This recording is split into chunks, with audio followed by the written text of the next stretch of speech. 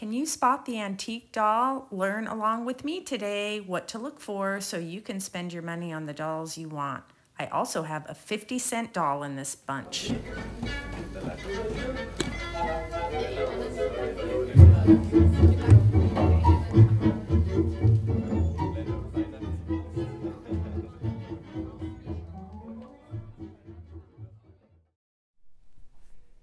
Hi there, Dolly friends. Today I just want to share a few of the inexpensive dolls that I've found. This young lady here, she told me her name was Daphne and she was 50 cents at the junk shop where I bought the other doll for 50 cents, which I showed you my Tony doll.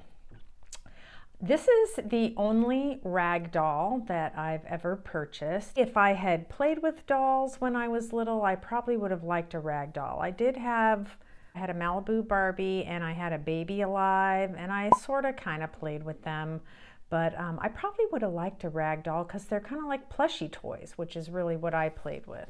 She's really big. She's 29 inches long and I don't know anything about her. Smart doll people out there, you knowledgeable collectors, uh, let me know if you know anything. So I'm just going to tell you what I noticed about her. I had initially gotten all her clothes off and her wig thinking that I would throw her in the wash and I just couldn't do it. I was so afraid to ruin her or have her fall apart. Her neck, if you look at it here, looks like it might have been hand sewed or maybe it kind of, you can see it's a kind it's kind of wobbly. Maybe it's been resewn over the years. Um, her wig was sewn on haphazardly and it is wool mohair or some other kind of wool. It's um, definitely wool and you can see where it had been bright at one time she has an old flower in her hair and that is well attached to her wig. So I did take her wig off and re-sew it on. It's just sewn to a strip here and then onto her head. And I was able to see when I got her wig off, and you can see too, there's another face on the back of her. So I don't know if she was some kind of kit. I know that there were doll making kits. I don't see anything really different about the face on the back from the face on the front. The eyes seem very similar. I'm not really sure. So I don't know if these lines here were where other hair or things were supposed to be glued. I really don't know. This is how I found her. I did take her dress off and wash it.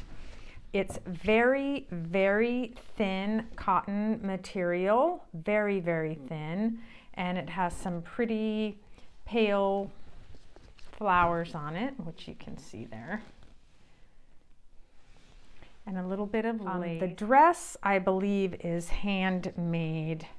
And then these long sleeves, uh, I don't know the proper fashion term for them.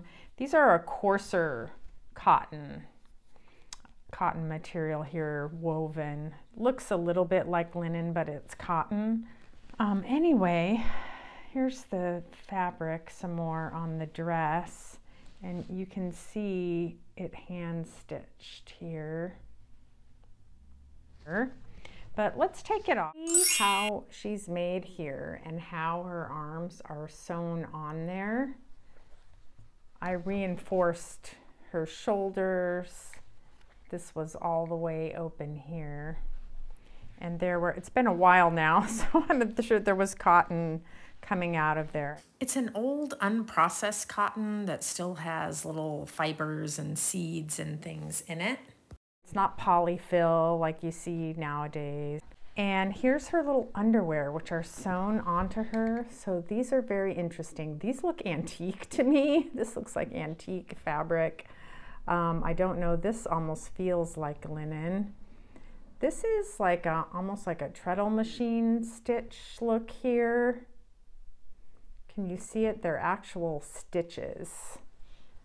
Let's see if you can tell inside. Yeah, you can kind of see it a little more there. Very, very basic.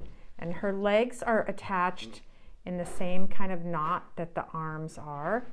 The tops of her legs seem to be finished in an interesting way with a damask-like cloth. They're very soft. Here she is, and she's pretty happy to be out here with the other dolls because I mainly just have her in my bedroom right now. There's, she's so long and floppy, I'm not really sure where to put her. She may be what's called a boudoir doll, which are dolls that you would set on your bed. You know, you talk about the chinas now.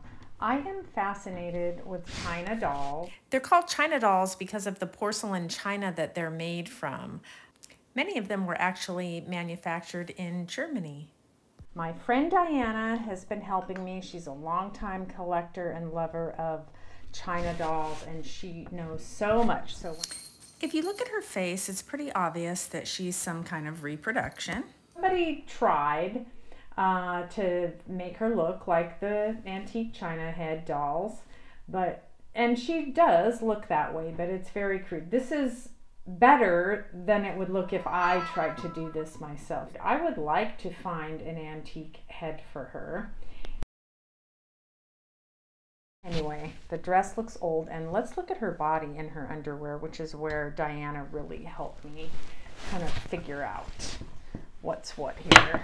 Sorry, Victoria. I'm calling her Victoria because my cat, whose name is Beckham, really loves this doll and he, he doesn't really care about my other dolls, but this doll, if it's out, he'll snuggle up and just like lay in her lap.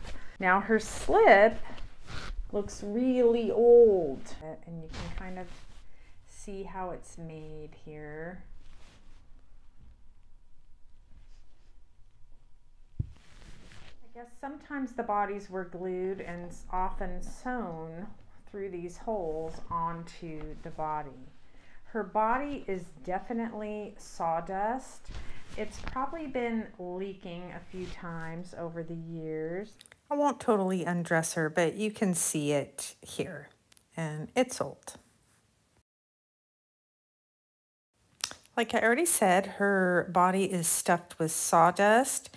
She has the wide hips and she has her legs tied together here is that a doll collector thing? Is that a China doll thing? I don't know about that. Um, I think it's kind of cute. Well, with the help of my friend Diana, we decided that she is a new head, arms and legs, on an old antique body. So eventually I'd like to maybe replace her head with an actual antique, um, but I'll leave her as she is for now. Bought these two girls together on eBay for $15 and the description said use one for parts and that the other one was an antique. You don't need to be an expert, especially when you see them side by side, to see which one is the antique. Just look at the detail in their faces. But I'm really happy that I bought this lot because of this antique doll. She is very, very special, and I can't wait to tell you all about her. But first, I want to tell you about the other girl. I'm just calling her Blondie. Now, Blondie is another reproduction doll um, with crudely painted features, as you can see. She does have a vintage dress on, but her body, I think, is new. Here's her little slip. Looks like an antique to me, and it very well may be. Uh, it's very nice. I don't think her body is very old at all. It's a very lightweight cotton fabric on the outside, and I, it may be polyfilled. I feel like I could just go down to the craft store and buy a body like this to make a doll. Not going to take her apart to repair the other doll.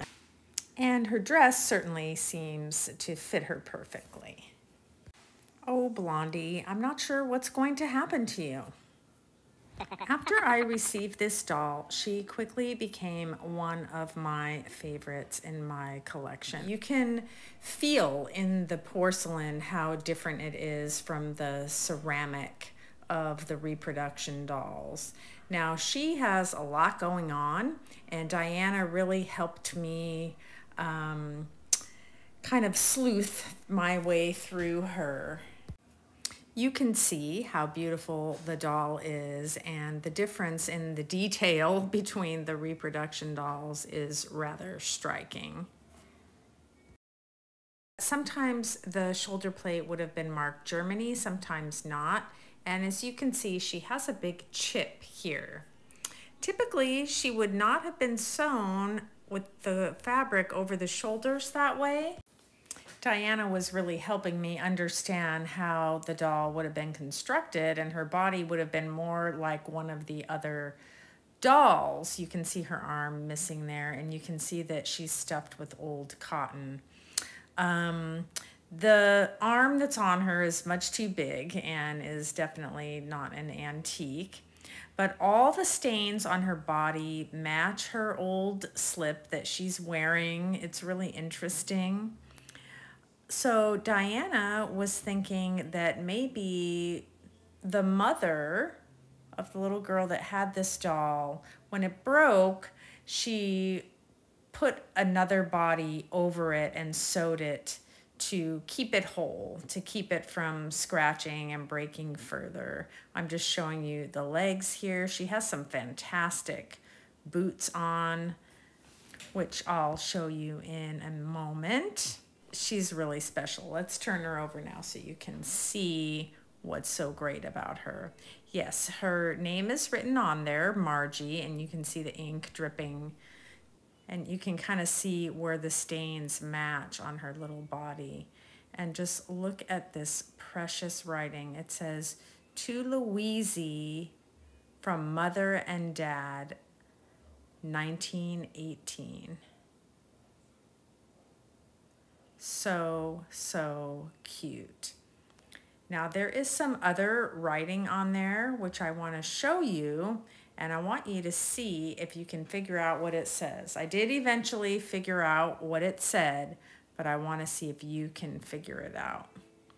So you can see that there's a number four there and some other writing Another number looks like it might say five or S and it looks like some D. I actually there. put her down and I was thinking about this doll all day after I got her. I was texting with my friend and pic showing pictures and later on in the day the light bulb came on. If you know what that says, please leave it in the comment. But I'm going to tell you right now it says four years old. So Louise was four years old in 1918. Now, as you know, the Spanish flu, or what was called the Spanish flu, was a global pandemic that infected 500 million people around the globe between 1918 and 1919. And it just I don't know, made me think of a little girl that could have been sick or parents that could have been sick or anything like that. Um, let's not get too morbid, but I absolutely love this doll because of the writing on her. Now, check out her stylish boots. I don't know if these are original to her, if they're antique or vintage or what they are. They they appear to be a little bit old. I don't know. They don't have the same kind of porcelain that the face does and the arm definitely does not seem old to me. It seems like the same as the one that's on Victoria. I love this doll. I would like to find a little dress for her and some arms. And I'm so happy I have these dolls. Um, yeah, next time we are are definitely going to talk about the dolls houses and the history of the families that live there. And of course we'll be doing the giveaway next week. A great grand thank you to everyone who's watching today. Please come back and visit me next time in the doll cupboard. She's such a moose